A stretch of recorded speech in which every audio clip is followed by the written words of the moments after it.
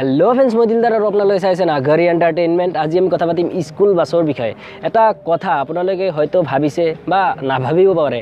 এটা সাধাৰণ কথা। যে কথাটো হ'ল যে স্কুল বাছ আছে যিবিলাক সেইবিলাক বাছবিলাকৰ ৰং সদায় কিয় হালধীয়া হয়? সকলোবোৰ বাছৰে ৰং কিয় হালধীয়া? এইবিলাক বাছৰ ৰং কিয় ৰঙা বগা বা অন্য কোনো ধৰণৰ কিয় নহয়? কেৱল হালধীয়া কিয় হয়? এই সকলোবোৰ কথা আজি আমাৰ এই ভিডিঅ'টোত সম্পূৰ্ণভাৱে আলোচনা কৰিম। তো বলক আৰম্ভ কৰোঁ আজিৰ ভিডিঅ'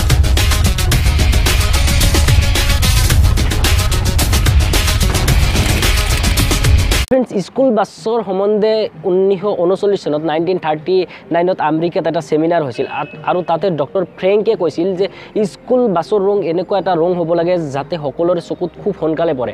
আৰু সেই হিচাপে আমেৰিকাই ঊনৈছশ ঊনচল্লিছ চনতে বাছৰ ৰং স্কুল বাছৰ ৰং হালধীয়া কৰিছিল যাতে সকলোবোৰ অৱস্থাতে যিকোনো জেগাত বহুত কেইখন বাছ থাকিলেও তাৰে মাজত হালধীয়া ৰঙৰ বাছখন বা স্কুল বাছখন সকলোৰে চকুত খুব সোনকালে পৰে। সেই হিচাপে নাইনটিন থাৰ্টি নাইনত আমেৰিকাত স্কুল বাছৰ ৰং হালধীয়া কৰিছিল আৰু সেই হিচাপে তাৰে পিছৰ পৰা গোটেই বিশ্বতে স্কুল বাছৰ ৰং হালধীয়া হৈছে। এতিয়া স্কুল বাছৰ ৰং হালধীয়া দিয়াৰ মেইন কাৰণটো হৈছে যদি এখন ঠাইত বহুত কেইখন বাছ থাকে আৰু তাৰে ভিতৰত যদি আপুনি পোনপ্ৰথমে চকু পেলায় আৰু তাতে থকা হালধীয়া ৰঙৰ বাছখনত বাছখনৰ ওপৰতে আপোনাৰ চকুত বেছি পৰিব।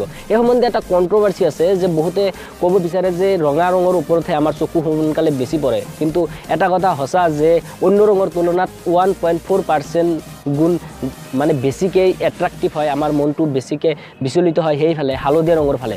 গতিকে এইখিনি এইটো হ'ল মেইন কাৰণ যে এইটো কাৰণতে মানে স্কুল ৰঙৰ স্কুল বাছৰ ৰংবিলাক হালধীয়া কৰি দিয়া হয়। গতিকে এটা সৰু ইনফৰ্মেশ্যন আপোনালোকক জনাবলগীয়া আছিল। হয়তো আপোনালোকে বহুতে ভাবিছিল বা বহুতে নাভাবিব পাৰে এটা সাধাৰণ কথা। গতিকে এইখিনি আপোনালোকক জনালোঁ। জাষ্ট তো যদি ভিডিঅ'টো ভাল লাগে তেতিয়াহ'লে লাইক কমেণ্ট শ্বেয়াৰ আৰু যদি আপুনি আমাৰ চেনেলটো নতুন তেতিয়াহ'লে ছাবস্ক্ৰাইব কৰিবলৈ নাপাহৰিব। আজিকালি ভিডিঅ'বিলাক বহুত সৰু সৰু হৈ আছে বহুত চুটি হৈ আছে।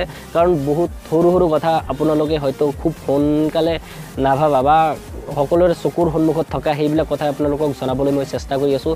গতিকে এনেকুৱা ধৰণৰ তথ্যবিলাক আপুনি যদি জনাব বিচাৰে তেতিয়াহ'লে আমাৰ চেনেলটো ছাবস্ক্ৰাইব কৰক লগতে ওচৰত থকা ঘণ্টি বাটন প্ৰেছ কৰক। কাৰণ এনেকুৱা ধৰণৰ সৰু সৰু তথ্যবোৰ মই প্ৰত্যেক দিনে আপোনালোকৰ মাজলৈ লৈ আহিবলৈ চেষ্টা কৰিম। Till then tata bye bye